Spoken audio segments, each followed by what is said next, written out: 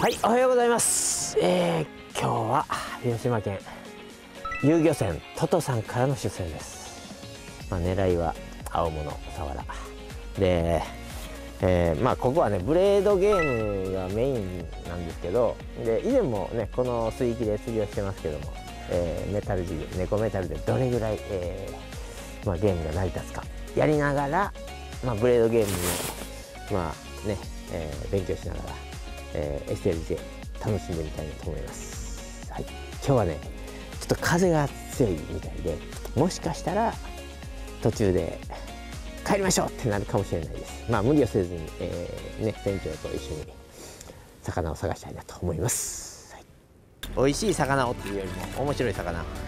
ブレードゲームがすごく盛んでお試しガンってくるようなガンってきたね今、うん、まあ来るもの拒まんでねよし。地球めくれてきた。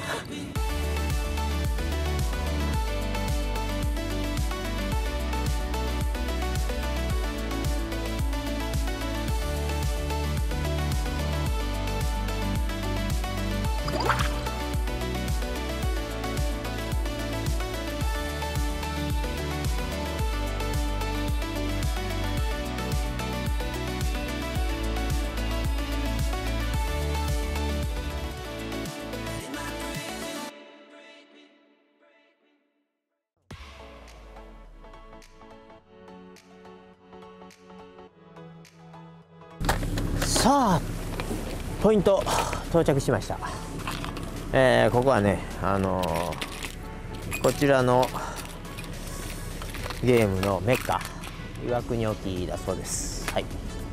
水深 30m ぐらいなんでまあ 50g までで釣りができるというね結構面白い釣り場ですね。でみんなはねやっぱサワラがメインであのターゲットにするみたいで僕まあどっちでもいいんで。特に今回はねロケなんで魚持って帰らないから。美味しい魚をっていうよりも面白い魚、うん、まあ来るものを拒まんでね、えー、釣っていきたいなと思います。ブレードの代わりにこれがどうなるか。僕はこれもう机上の空論なんだけど一緒かなと思ってね持ってきた。はい。猫メタルの 50g ブルピンからいきます。で裏にまあローライトということでまた遮光なんで、えー、水の中暗いと思うんで夜光のテープ貼りました。はい。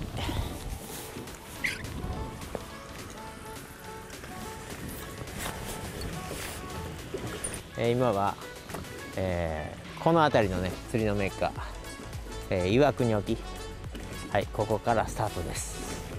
でまあこの辺りはねブレードゲーム発祥というか今はもそうなんですけどブレードゲームがすごく盛んでこんな感じでただ巻きでガンってくるようなガンってきたね今。ガンってきたわ。あのそのゲームがね、えー、流行りなんですけどそれをブレードなしでまずやってみて、えー、ちょっといろいろ体感しながら遊びたいなと思います。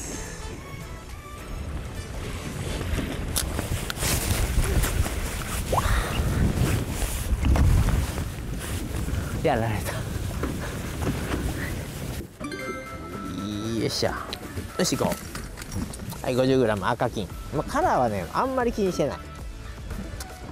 はいそれよりもちゃんとね生めかしアクションさせてたら今みたいに口扱うね。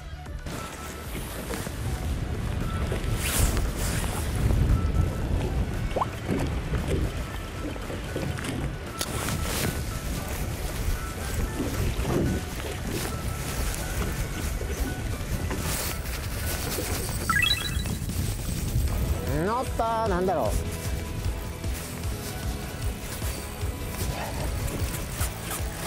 タコシや。イエーイ釣れたえこのままリリースしようか。いや写真がいいねんなどっちでも。あリリースしようか。そのまましよう。よう撮っといて。あバイバイ。いいね。はいえー、今日はねあのー、よっしゃ釣れたってやりたいんだけどあの持って帰らへんやつは今みたいにもう上げずにリリースすれば佐賀市は帰ってくれるんでね。できたらそれがしたい。50g でね 30m ぐらいの水深を今やってるんだけどここはあれやねいつも思うけど素直な流れ、うん、上の流れも下の流れもそんな変わらないんでおっしゃ当たったよしよしよしよしよし。チヌだ。よいしょ。チヌ来るこれも広島湾名物やね。めちゃめちゃいてるからね。やっぱ牡蠣の養殖もしてるのもあるし放流事業もやってるよねこれね。今はもうやってないか。ら恵めたる。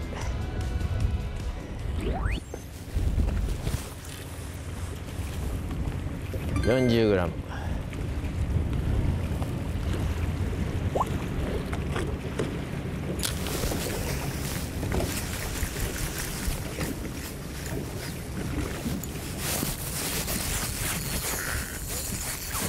よし。浜地先生。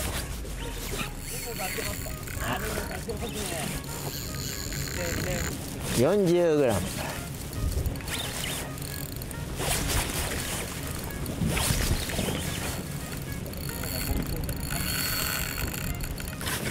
おうおうおうおう。めじろちゃん。よいしょ。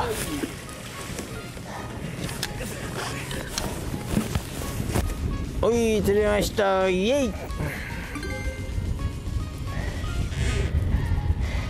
大浜町。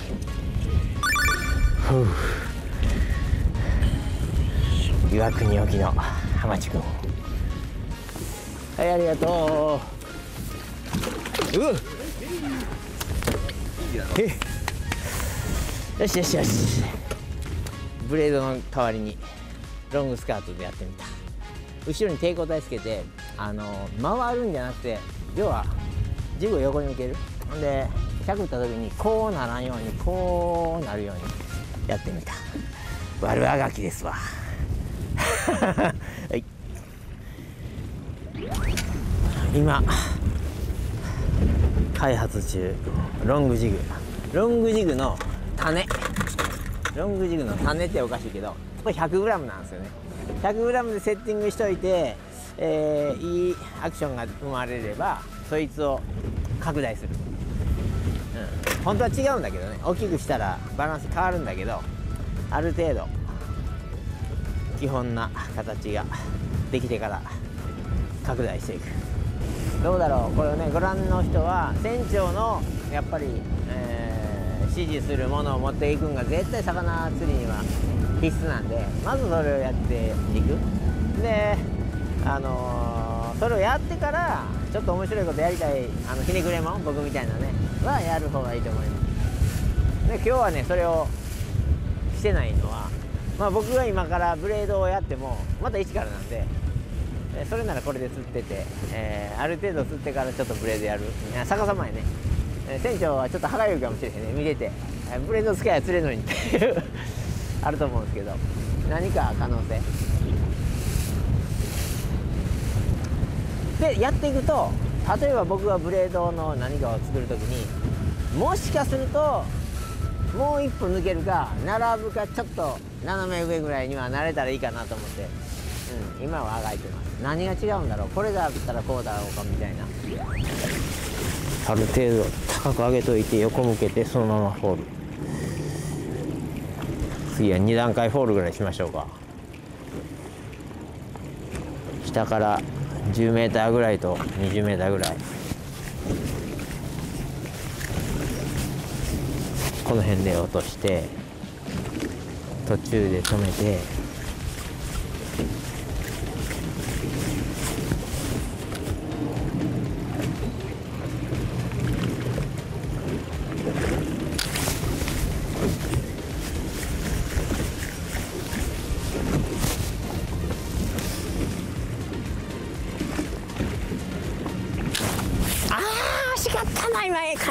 よし取ったあ。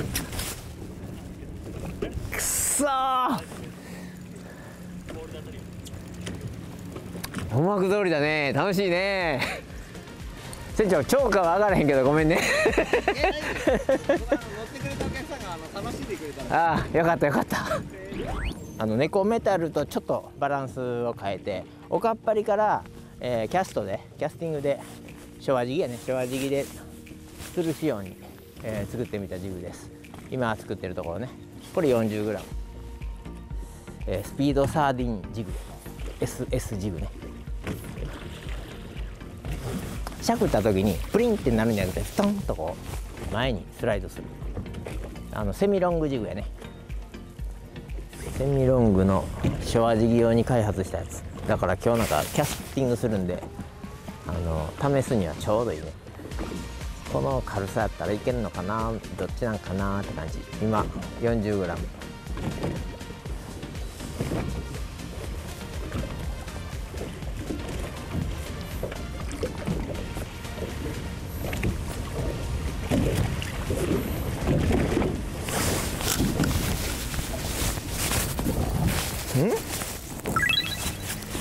今そこじゃなかったやな。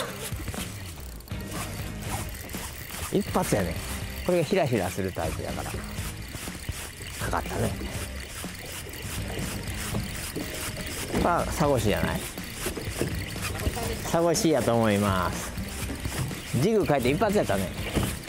こっち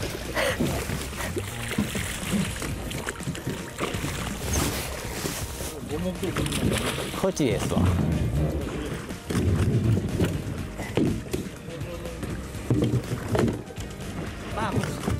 まあこっちでかい。えありがとうございます。でかい。こっちゴジャップ。そこついた思ったらこいつやった。まあそこはそこやったんやろな。フラットフィッシュ試作の SS ジグ。スピードサーディン旬言わしてかけるスナップ？をこっち側につけてこいつをあのこの愛に通す。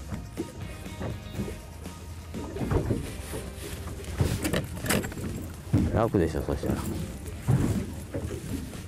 まあちょっとこの物々しさがあるけどね。まあ言うて知れてます。はいウルメバイブウルメイワシをモチーフにしました。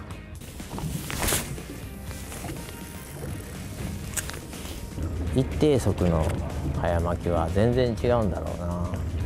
ジグがくるくるくるって回るのに対してブレードは抵抗かければかけるほどまっすぐ泳ぐじゃないですか。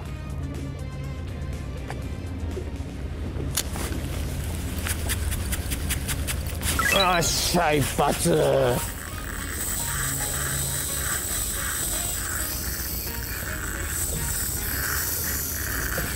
ブレードいやブレードやけどね。ちょっとちゃうブレード。これでかいな。でかいんじゃないですか？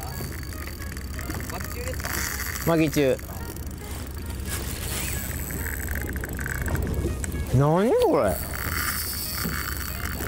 体に刺さりましたね。イメージで言うたら前からちょうどど真ん中ぐらいかなでも。なんていうの？こうゆすってもああの触れへんところやわ。なんか分からへん。こういうのはね取らんとなんか面白くないからねやっぱり。あそいつかっていうやつおるじゃないですか。なんだそいつかいうやつもあるしね。A の割には引っかへんかな。どうなんやろな。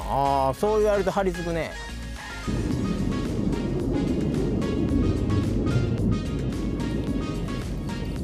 あと15か。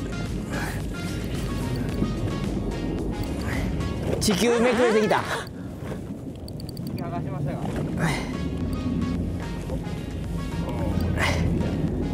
飛ぶえこれ。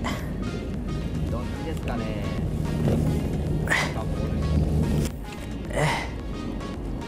よいしょ。入った？枠いっぱいですあ。やった電動枠いっぱいですやった。やったやった。やった。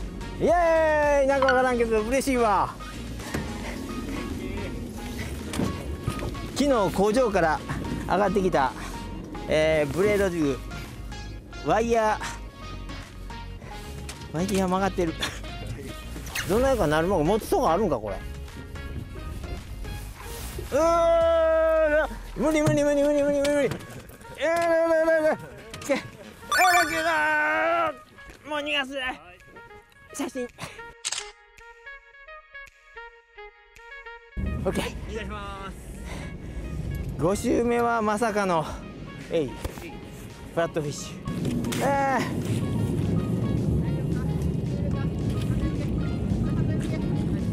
おおなんだ1投目がドーン来た思ったら。は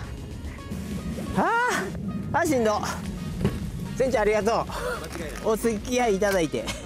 ありがとうございます。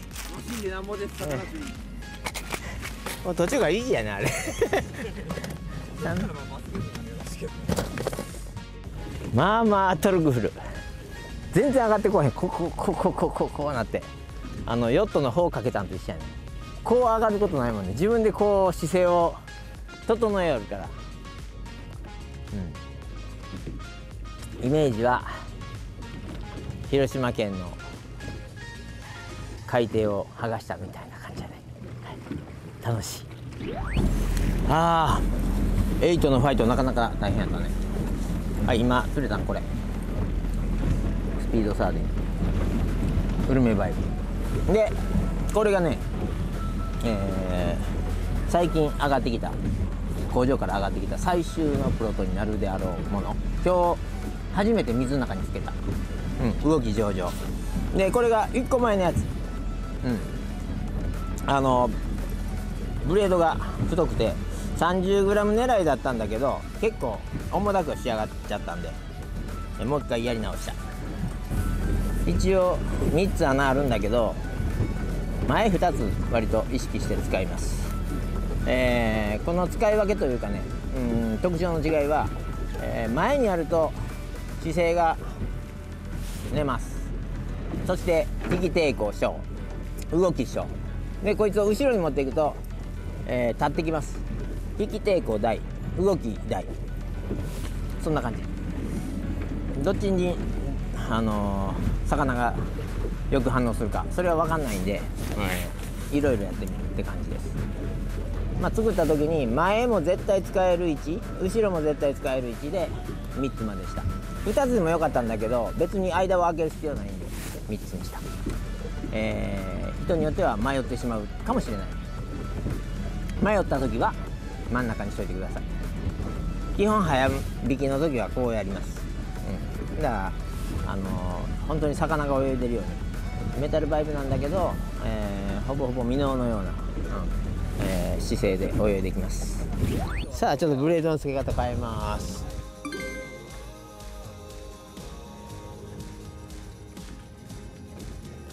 じゃあこれやりますね。はいブレードチューン。シングルフックなんでちょっと僕細工してきました。ブレードつきやすいようにね。はい。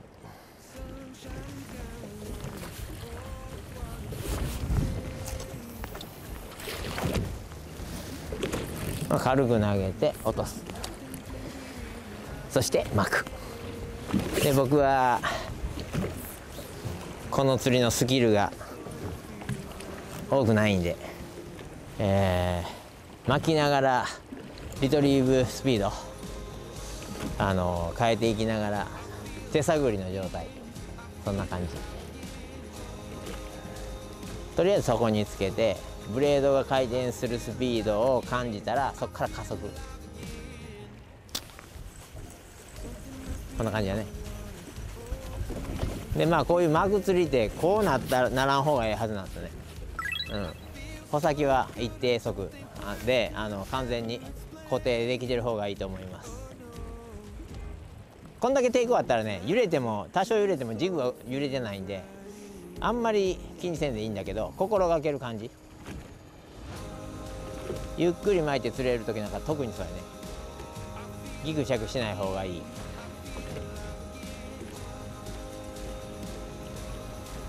はいそこつきました。巻く。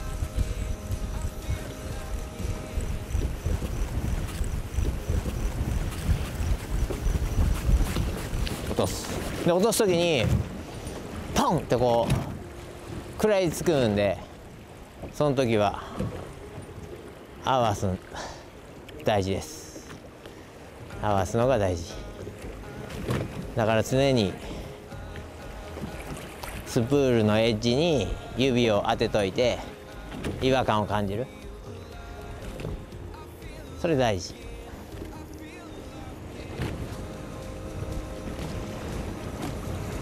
今 50g でやっててこれ3回目の落とし。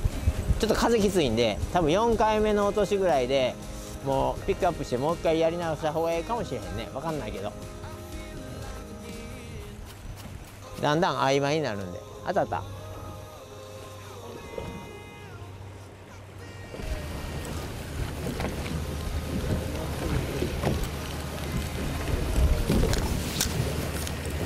読んできた。あ。よっしゃよしよしよしよしよしよしよしよしよしよしよしよし。よしよし。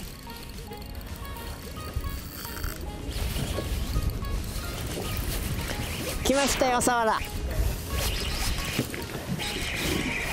5にいれば5に従いでとりあえず来ましたよ。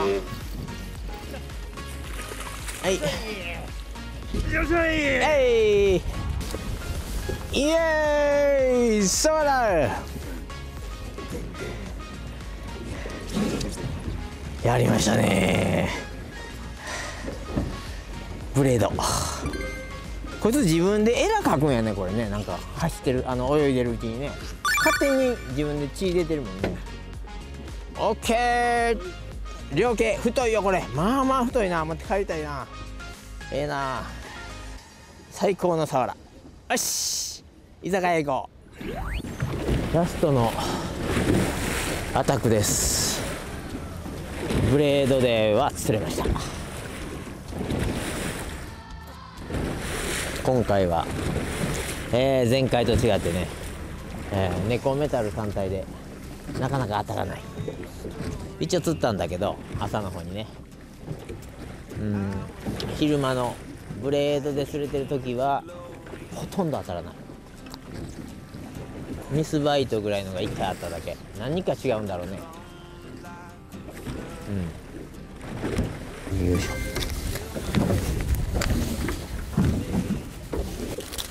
とりあえず薬を張りました。アピー気休め。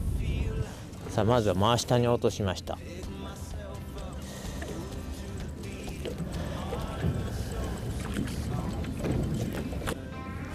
まあ金色っていうのはねまあよく見えるんだろうね。フォグランプの原理なのかな。あとちょっとちゃうのかな。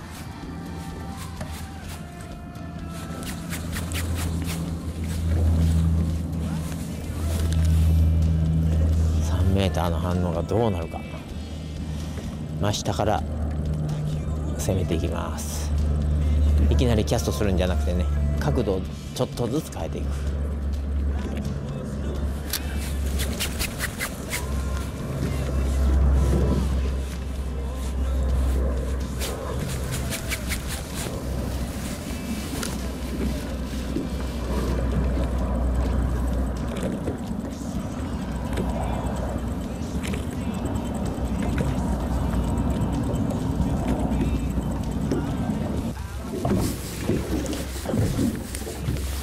よいしょ SLJ は奥深いね。まあ何でもそうやけど。さあ水の中が、えー太陽の遮光によって暗くなってきた。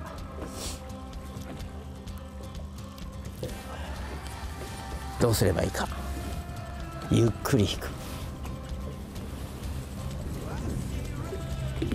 一気に暗くなるってことは朝まずめよりも見えてへんような気しんそれ人間の発想かな。